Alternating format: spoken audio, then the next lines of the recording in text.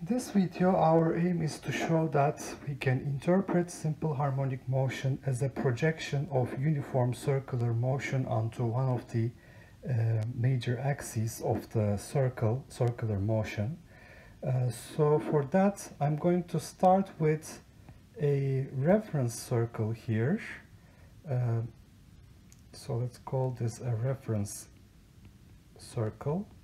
And what I have here is a point P, uh, which is moving in, uh, in a circular path with radius A and initial angle phi. Uh, so if I take the projection of this uh, point P to the x-axis, I find point Q, and point Q is located at A cosine phi on the x-axis. All right, so let me note that here. Uh, so on my reference circle, uh, A is the radius, phi is the initial angle, and what I find is that this is the position at t is equal to 0, uh, the position of uh, point Q at t is equal to 0 is a cosine phi. Uh, then I move on to a different point in time. Now t is uh, greater than 0. So what I find here is that this point P has moved to a new angular position theta so first it was phi, now it is theta, and where theta is omega t plus phi. So uh, let me note here, I had uh, this initial angle phi, and then I moved by a total amount angular displacement omega t. So phi plus omega t is equal to theta. Now, what is the new position of point Q? Uh, the new position of point Q at time t is x at time t is a cosine theta, uh, which is equal to a cosine phi plus omega t.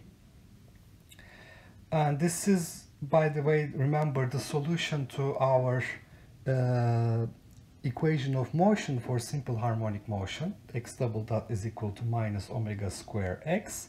So really the position of point Q seems to be following uh, the solution to simple harmonic motion.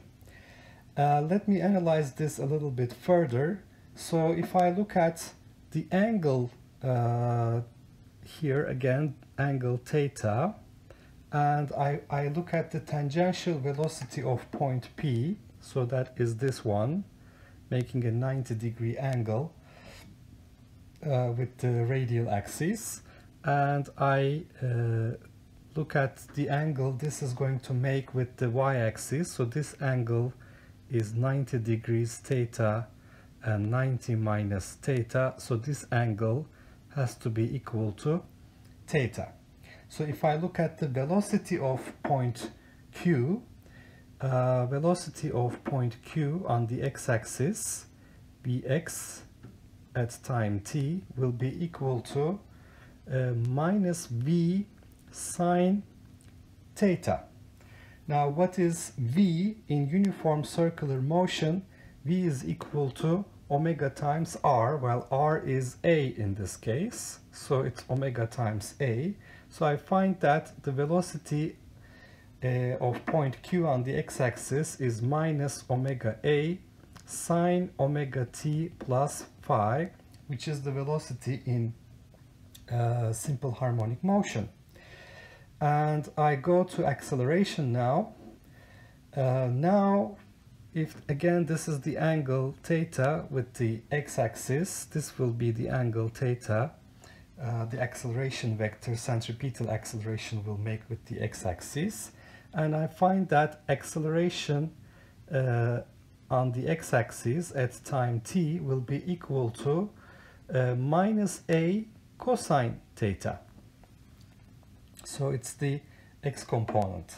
And now what is the acceleration uh, in uniform circular motion? It is uh, v square over r or omega square r because v is equal to omega times a. So I find that the acceleration uh, on the x-axis as a function of time will be equal to minus omega square a cosine phi plus omega t. Okay, so all of these are very good indications that uh, simple harmonic motion uh, basically simple harmonic motion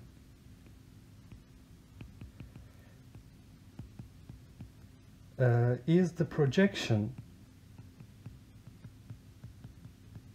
of uniform circular motion.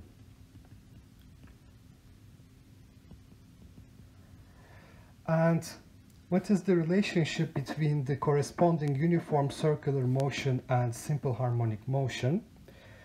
A, in uniform circular motion, A is the radius.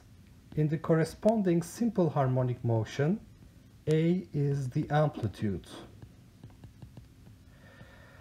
Phi in uniform circular motion is the initial angle, initial angular displacement. In simple harmonic motion, phi is the initial phase. Omega in uniform circular motion is the angular speed. Omega in simple harmonic motion is the angular frequency. Um, so the the angular displacement as a function of time, theta, uh, is the angle in uniform circular motion or angular displacement in uniform circular motion is equal to phi plus omega t that is the phase of uh, the simple harmonic motion. Simple harmonic motion. Uh, what else do we have? We have the the speed the constant speed omega times a in uniform circular motion. Uh, omega times a is the maximum maximum speed in the corresponding simple harmonic motion and similarly the centripetal acceleration is omega square a in uniform circular motion omega square a is the maximum acceleration in simple harmonic motion so there is a one-to-one -one correspondence between simple harmonic motion and uniform circular motion.